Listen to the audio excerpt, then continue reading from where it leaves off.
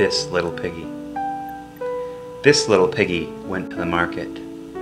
This little piggy stayed home. This little piggy had roast beef.